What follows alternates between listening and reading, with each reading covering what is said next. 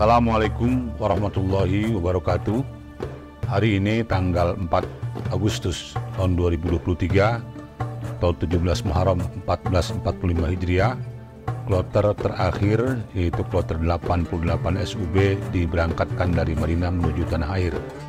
Dengan demikian, seluruh kloter berjumlah 558 kloter sudah diberangkatkan ke tanah air dengan jumlah jamaah sebanyak 209.782 jamaah. Namun demikian, masih ada beberapa jamaah yang dirawat di Rumah Sakit Arab Saudi, baik itu di Mekah, di Madinah maupun di Jeddah.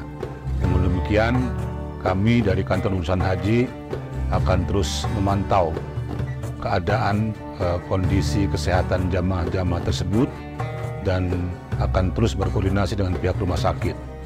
Jika ada jamaah yang sudah dinyatakan layak untuk berangkat ke tanah air, maka dari kantor urusan haji akan melakukan pendampingan sampai di tanah air.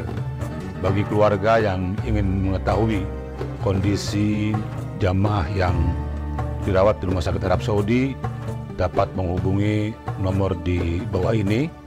Di Mekah bisa menghubungi saudara Naib Eh, di eh, Jeddah bisa menghubungi saudara Muhammad Syafi'i dan di Madinah bisa menghubungi uh, Bapak Ahmad Hasidin.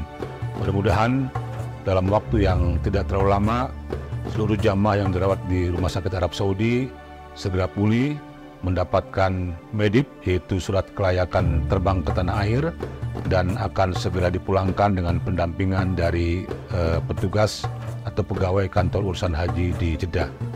Demikian mudah-mudahan uh, semuanya bisa berjalan dengan lancar dan uh, kami mohon doa semoga jamaah yang sakit segera disembuhkan oleh Allah Subhanahu wa taala sehingga bisa berkumpul dengan keluarganya di tanah air. Terima kasih. Assalamualaikum warahmatullahi wabarakatuh.